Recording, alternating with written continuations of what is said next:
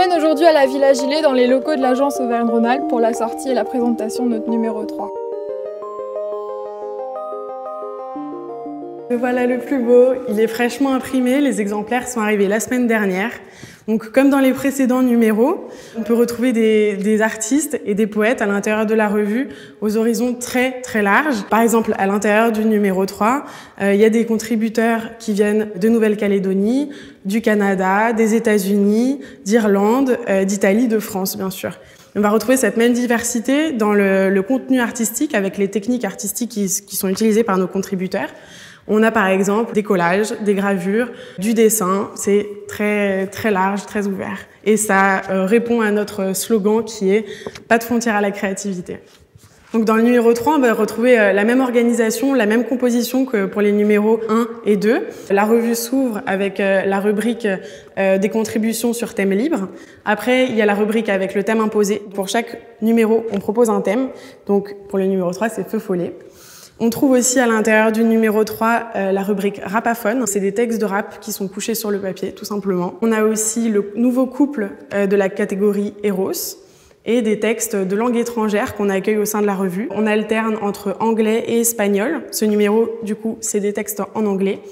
Et un petit inédit, on a fait une collaboration avec euh, le master de traduction italien de l'Université Lumière Lyon 2 donc il y a aussi des textes en italien à l'intérieur. Autrement, dans ce numéro, on va aussi pouvoir euh, retrouver euh, les coups de cœur, les coups de gueule de la rédac, ainsi qu'un focus ciné sur un film d'Abdelaptif Keshish. On retrouve aussi l'habituel BD et l'horoscope poétique. Et d'ailleurs, je suis très curieuse, Oran, j'aimerais savoir ce que c'est ton signe astro. Euh, Gémeaux. Gémeaux, Gémeaux, Gémeaux. Tu veux que je te lise? Avec plaisir. Alors, lors du soulèvement des montagnes, tu trouveras la bague secrète et salée des rêves oubliés te reviendront. Et pour finir de vous mettre l'eau à la bouche, je vous parlerai bien du dictionnaire des magnitudes, un concept qui a été pensé et réalisé par euh, Clara, euh, où on peut découvrir des définitions de mots étranges comme euh, passe-velours ou samol. Sous la terre,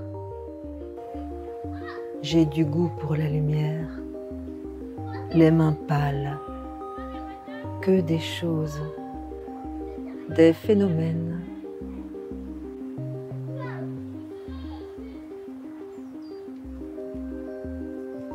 Je lève les yeux. Je n'aime pas me voir autrement que par petits morceaux de flamme. Brouille aux formes, elle court parmi nous, sur la peau, c'est comme euh, des âmes sur le papier. Telle la prairie pour l'ardeur, le feu folle pour l'ardeur.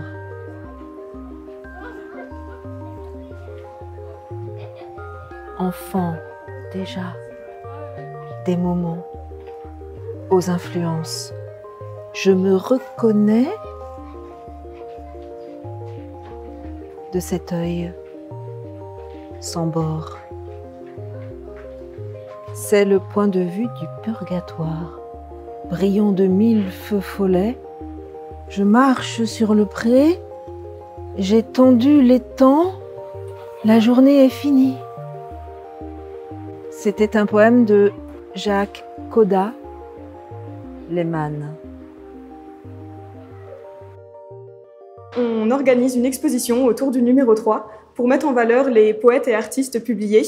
Pour les poètes, en exposant euh, leurs poèmes imprimés sur tissu. Et pour les artistes visuels, en exposant les œuvres originales qu'ils ont publiées dans le numéro 3, mais pas seulement, puisqu'ils nous ont aussi sympathiquement prêté euh, certaines de leurs autres créations.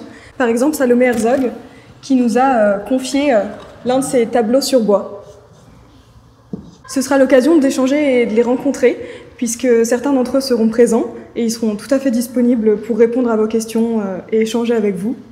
Et vous pourrez aussi découvrir les œuvres des numéros précédents, puisqu'on a certains artistes qui nous ont fourni des œuvres et qui étaient publiées dans le numéro 1, le numéro 2, et on a même des œuvres issues du numéro 0. Par exemple, euh, ces photos imprimées sur tissu, qui étaient là déjà dès l'exposition euh, de lancement du numéro 0.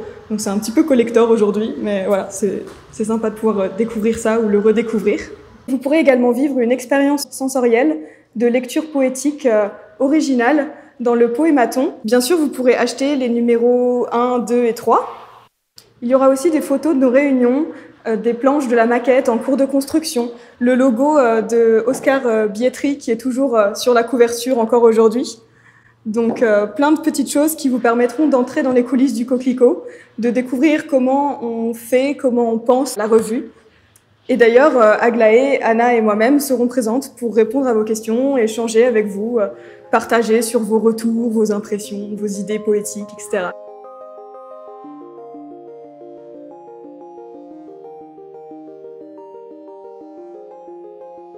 On tient à remercier toutes les structures partenaires qui nous soutiennent, nous accompagnent et croient en notre projet. Le Coquelicot a la chance cette année d'être lauréat de l'incubateur mis en place par l'Université de Lyon et ainsi d'être accompagné par l'agence Auvergne-Rhône-Alpes Livre et Lecture. Un grand merci à l'agence et toute l'équipe. Anna, Clara et moi-même tenons à remercier Faustine Nakache et Johanna Camélia Inescu pour leur gentillesse et leur engagement dans la mission de notre accompagnement. Nous tenons à remercier également l'Université de Lyon et l'Université Lumière Lyon 2 qui accompagnent le Coquelicot Revue financièrement. La sortie de notre numéro 3 s'inscrit dans le cadre du festival Magnifique Printemps de la ville de Lyon durant la période du Printemps des Poètes 2021 en partenariat avec l'espace Pandora. Nous remercions Jean-François Magnier, fondateur de Chaîne Éditeur, qui a su nous émerveiller et nous encourager avec justesse. Merci pour cette qualité d'enseignement. Merci également à Andrea Iacovella, éditeur chez La Rumeur Libre Édition, pour sa générosité, son temps, ses idées lumineuses et son énergie positive. Enfin, évidemment, merci à tous nos lecteurs qui, de près ou de loin, nous soutiennent, nous lisent, nous accompagnent, nous encouragent. Merci pour votre présence, votre intérêt et votre fidélité. Vous faites pousser le Coquelicot Revue.